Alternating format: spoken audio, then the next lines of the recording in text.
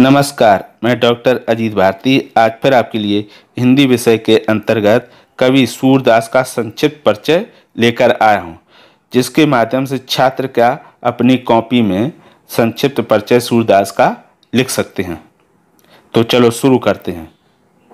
जन्म, इनका जन्म सन 1478 ईस्वी में हुआ था, अर्थात 1478 ईस्वी।